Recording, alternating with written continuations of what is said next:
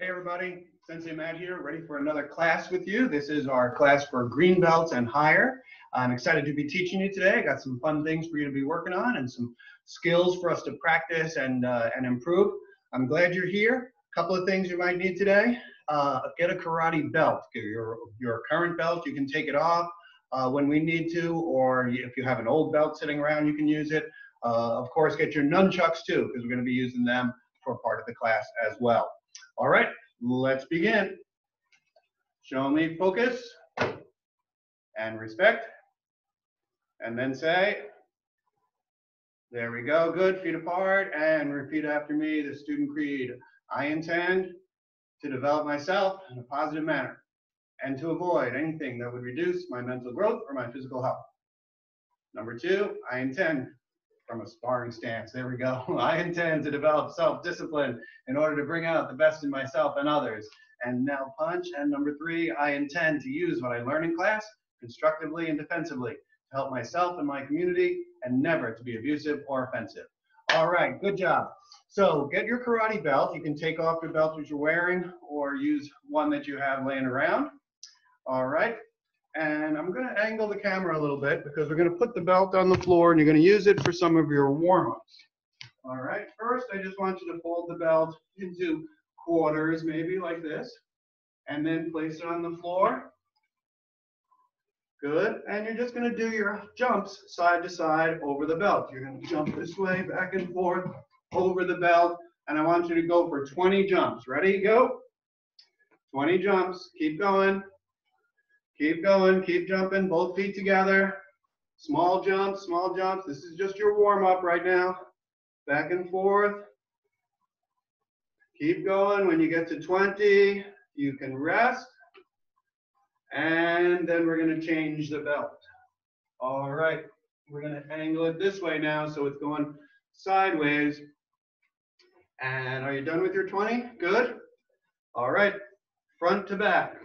One, two, three, four. 20 jumps, front to back over the belt. There you go. Keep going. Get your number 20. That's it. Keep it up. All right. When you get to 20, now we're going to change the belt. And you might have to get on the floor to do this. You're going to make an angle. And then bring the belt back and make it go out one way and the other way. So you have kind of an X. All right, you see that, how it's kind of making an X pattern? All right, it might take a few seconds to get that set up. Go ahead and give it a try.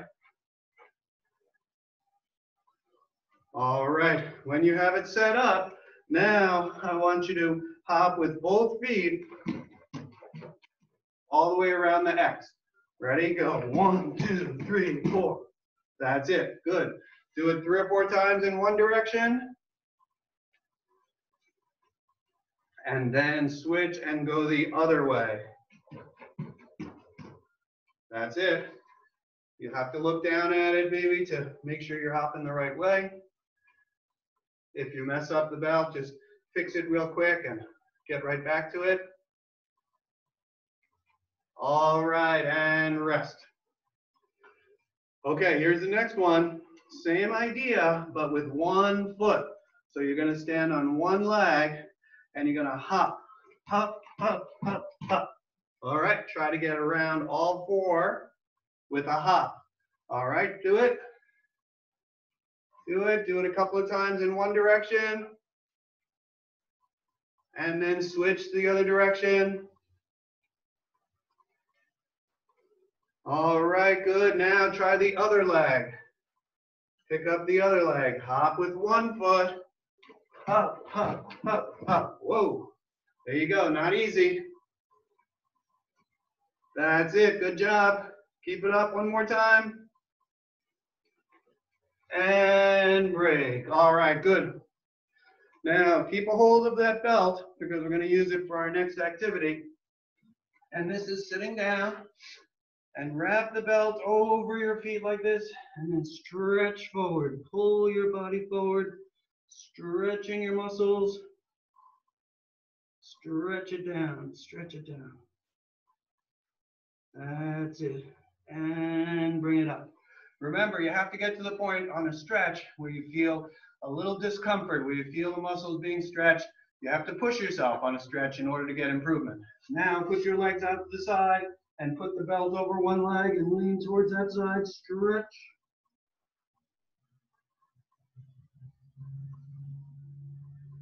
That's it, always hold it.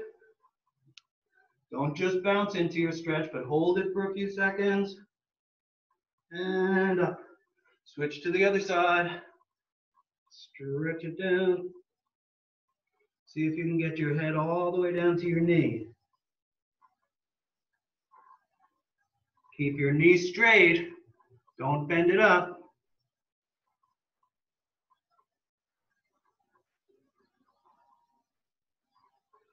All right, good job. All right, we're done with our stretching and our warm up for now. So you can take your belt and either put it back on or put it off to the side. And get ready for working our techniques. All right, are you ready? All right, good. We're gonna go into our kicks first, and I know we've, we've been working our crescent kicks, so I want you to try some different combinations that include crescent kicks in them. All right, first one is from a sparring stance, a back leg round kick into a spinning crescent kick. Ready? Back leg, round kick. Turn your foot, turn your head, spin the crescent kick as you come around. Now you have to switch legs to get back to where you were. Ready? Round kick, turn, spin crescent. Good. Ready again? From your guard and go. Good. And back to your guard. Ready, go. Round kick, spin crescent kick. That's it. Always get your head around on the spin crescent kick. Ready, go. One, two. That's it. Good. And one more time. Ready, go. There you go. All right. Now we're on the opposite side, so we're going to stay there so we can practice our move on this side. Back leg round kick. Turn the leg as you come around. Spin crescent. And then remember to switch back so you're in position for the next kick. Ready, go. Good. Do it a couple more times on your own. Back leg round kick, spin crescent. Remember to start on this side forward. Again, go. And again, go. Good. All right. Hey, putting in that spin crescent is a tough move, but I'm glad you're working on it, trying to improve on that technique. Now, we're going to do our front leg crescent, the stepping up crescent, and then follow it with a back leg round kick and a side kick. So ready, step up, crescent. Now the other leg, round kick. Set it down in front and then step up and side kick. Again. Crescent kick, round kick, side kick. Good. Again, put it all together and go. Crescent kick, round kick, side kick. Again, and go. Good. And one more time. Ready? Go. All right, switch legs. In karate, we try to work both sides equally to be well balanced with our skill and our strength on both sides of the body. Ready? Front leg crescent kick. Back leg round kick. Step up. Side kick. Yes. All right. Put it together and go. Crescent kick, round kick, side kick. Good. Come back to this guard when you're done. Ready, go. Good. Good. All right, good. Are you keeping your guard up during all the kicks? This time when you're doing it, if you're watching the screen at the same time with you doing it, you can see if you're doing your crescent kick uh, and keeping your guard up at the same time. Ready and go. Crescent, round, side. That's it. All right, and break. All right, we're gonna add one more. And this time, we're gonna start with a front kick, a side kick, and then a crescent kick, all with the same leg. And they're all stepping up kicks, so they're all done with the front leg. So it's a step up front kick, turn yourself a little bit, a step up side kick, set it down, and then step up crescent kick. Yep, all three kicks with the same leg. Stepping up each time. Ready? One, front, two, side, three, crescent. Yes. Again. One, two, three. Yes, good. Show me it again. Ready? Go. Front kick, side kick, crescent kick. Good. One more time. Front kick, side kick, crescent kick. All right, switch legs. Let's work that other side. Front kick, side kick, crescent kick. Yes. And again, ready? One, two, three. That's the way. Good. Put it all together. Ready? Go. Good. Keep your balance. And back. Back to this guard. And again, go. Good. Good. All right. Nice work on your crescent kicks. Let's change our uh, focus for a few minutes as we move into our nunchucks. So go ahead and grab your double nunchucks if you have them. If not, if you only have one, do the moves with one hand, do it with the other hand, and talk to your sensei about getting that second set of nunchucks. All right, you remember hold them in the middle of the stick and warm it up with the spins and then switch direction. Good. Now remember this drill, one spinning forward, one spinning backwards. Try that coordination. Good. Keep nice smooth spins all the time. All right, and stop.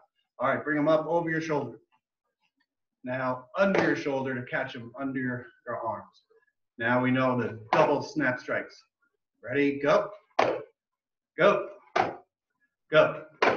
Good. Now do three fast, one right after the other, like this. Ready, go. Good. All right, do it again. Three in a row, quick. Go. Nice. One more time. Ready, go. All right, good work. Now we're going to alternate the strikes. Let's practice. One, two, three, four. The rapid fire strikes, right? One, two, three, four. Get a good catch each time. And now let's try for those four as fast as you can. Ready, go. One, two, three, four. Ah, did you beat me? Let's see if you can beat me. You have to catch it each time for it to count. Ready, go. One, two, three, four. Oh, I missed it. All right, you beat me that time. Ready, go. One, two, three, four.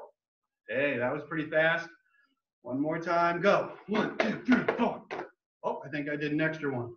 All right, hey, anyway, that was good practice on the snapping strikes. How about the double figure eights?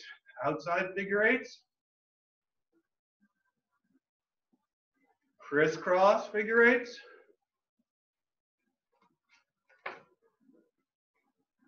Good. Parallel figure eights, side by side. Good. All right, good. And then the following double figure eights. One follows the other, both spinning around. Maybe you can move around in a circle as you're doing it. Keep the nunchucks moving. Keep your body moving the whole time. Spinning around as you're spinning the nunchucks. Good. And stop. All right. That's good. Those uh, can tire out your arms pretty quickly, so it's you know it's a good arm exercise when you're doing those double nunchuck spins. All right, if you're having trouble with any of those, put a little extra time into them. Practice them on your own and uh, start to get the skill down. Now, in the past couple of weeks, we've also been working on the switching of the grip. Remember with a single nunchuck, switch the grip? Switch the grip. Oh, yep, sometimes we drop it. All right. Swing it and catch. Swing it and catch. String around the back of the hand and open the hand quickly and then close it. Open it quickly and then close it. All right, so if you've been doing that and hopefully you've been practicing both hands, now I want you to do it along the side of your body, like this. So it's going on the side instead of in front of you. So swing it backwards or swing it forward, depending on how you're trying to catch it. And practice the other hand too, right along the side of your body. Just like that. Good. All right, now go with the regular grip, the basic grip, but now put them both on the sides of the body and see if you can switch both of them at the same time. Hey, I got it. And then go backwards and catch it. That's a tough one. Both at the same time, switching and catching. Whoa, there you go. Oh, had to adjust for that one. Sometimes you don't get a perfect catch. We all need to keep practicing to try to get it better every time. Forward and back.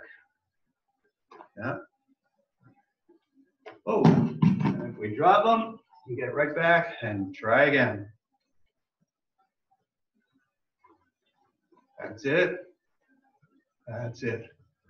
All right, good. So that's your uh, single nun or double nunchucks new skill to work on. But I want you to put one nunchuck off the side and just go back to a single one because I want you to do some of your moves that we learned when we were using the single nunchuck, like over the shoulder catch. Remember that one? Practice those moves a little bit. Good. Around the world catch. And switch and go the other way too. Remember to catch this the nunchuck that's free. Don't catch the one that you're already holding. Catch the one that you're not holding when you come around. Good. All right. Remember the um, uh, bounces off the shoulders. It bounce, bounces off the hips. And when you're bouncing off the shoulder, the one that goes around the neck. You remember that catch? Go around the neck. The thing to remember on that one is when you bounce it on the same side that you're holding the nunchuck on, now you extend it around the front of you and the nunchuck will swing around behind your neck. You catch it and then you bring it out. So your last bounce is the one that's on the same side that you're holding the nunchuck. Now swing it, catch, and bring it around. Right? Practice that one a few times. Swing it around to the front. Good. All right. Uh, now, some of you also know of a behind the back catch. And you put your hand behind the back, and you catch it that way. Whoa, there it is. Behind the back. Behind the back catch. So those are good ones to practice too. All right, so keep up your single nunchuck skills as at the same time as you're working on your doubles. All right, put your nunchucks away. And we're moving on to our kata. Now, if you're a, a higher ranked student, and we're working mostly on the Hanchi kata in the video, you can do Nihonchi once and then maybe do Wansu to review that. Maybe do uh, one of your higher katas, Kusanku or Chinto. All right, and you can always pause the video while you complete your kata and then get back to the video to finish it uh, as well. But for the sake of the students learning Nihonchi kata, that's what we're going to do in today's class. All right. Now, most of you know it all the way through, so let's do it step by step. Yes, Meg. Kyutsuke. Great. Hajime. Kata Nihonchi.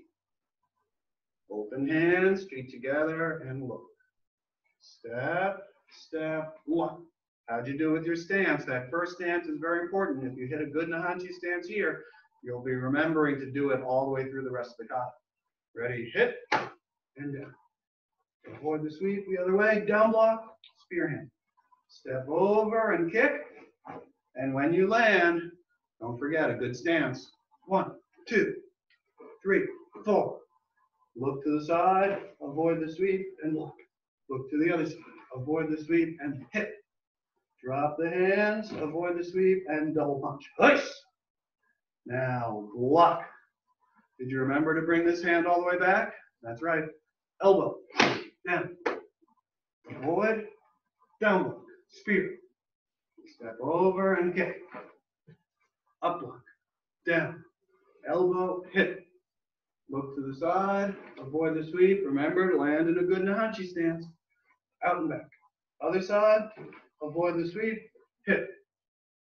Hands down, avoid and double. Push. And that's the last move. And then we come back and finish properly. All right, good. Now, I'd like you to do this kata by yourself another time. And again, if you have a higher kata that you want to practice, go ahead and do that. Ready? Yasume. Kyutsuke. Great. Hajime. Good. Pay attention to your eye contact and your stances. Turn your head when you're changing directions. Maintain the proper stance in whatever kata you're doing. And get some power into your moves. Remember that the kata is a fight.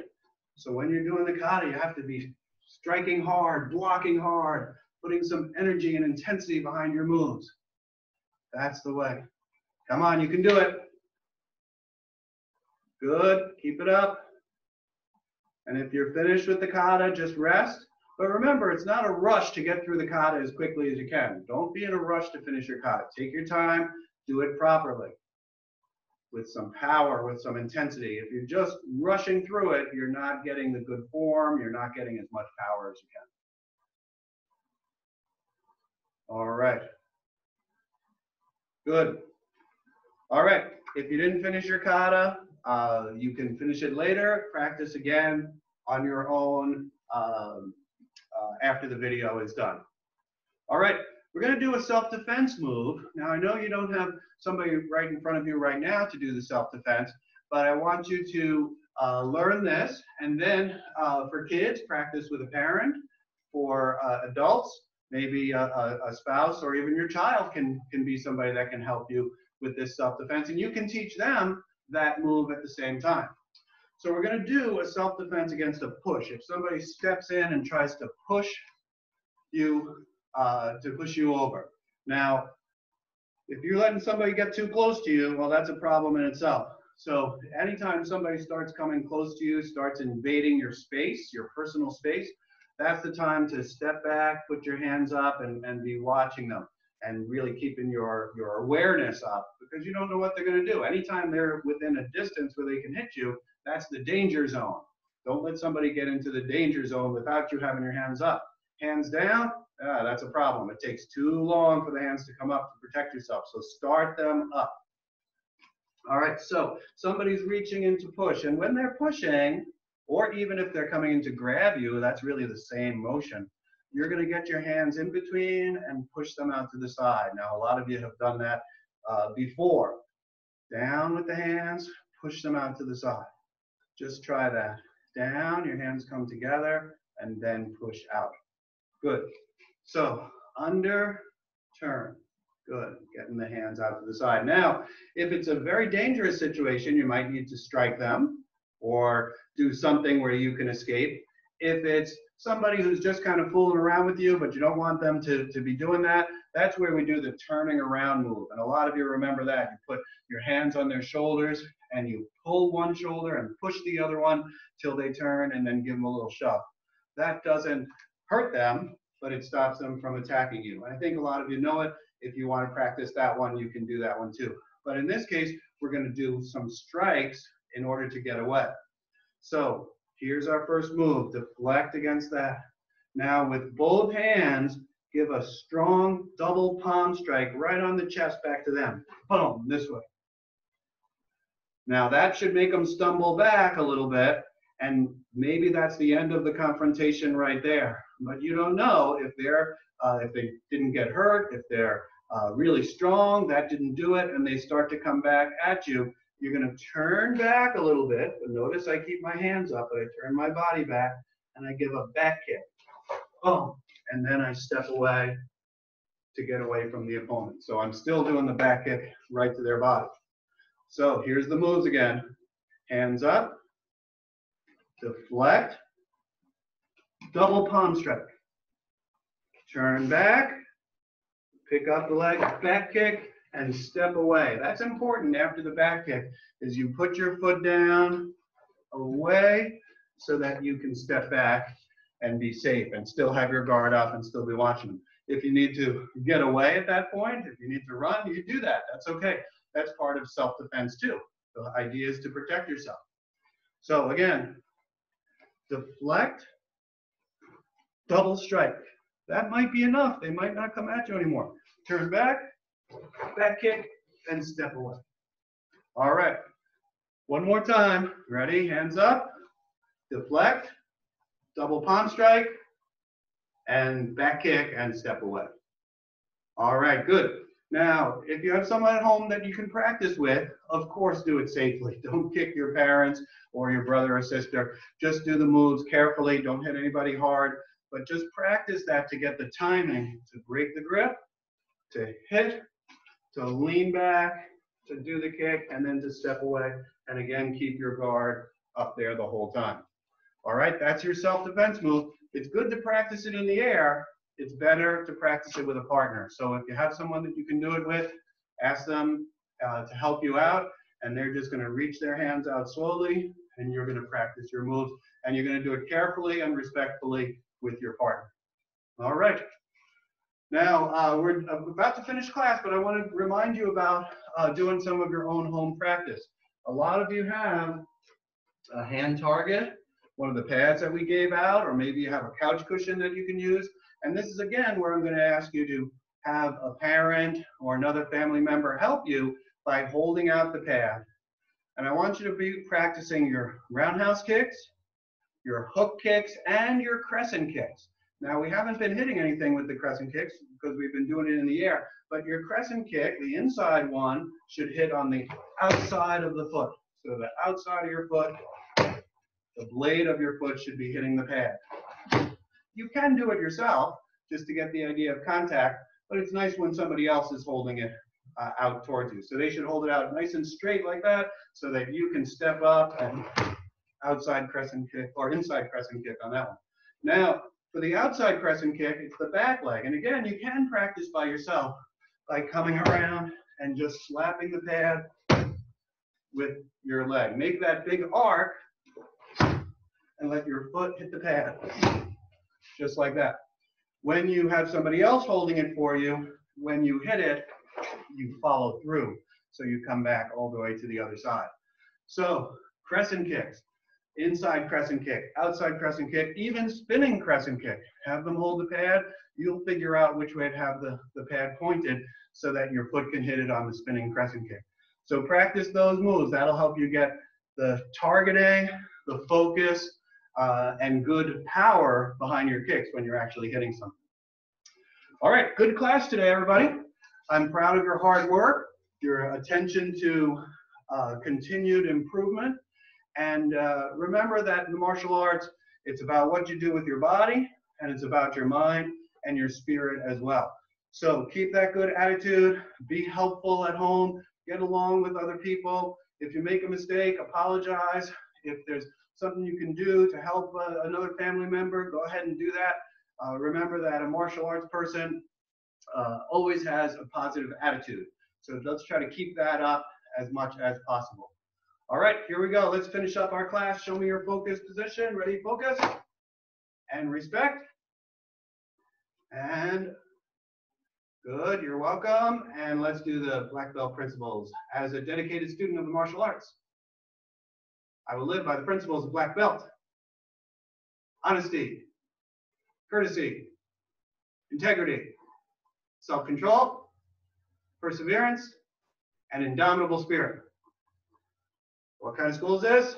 It's a black belt school. Thank you, everybody. Hey, great job. Hope to see you soon, and uh, keep up the good training. All right, take care now. Bye-bye.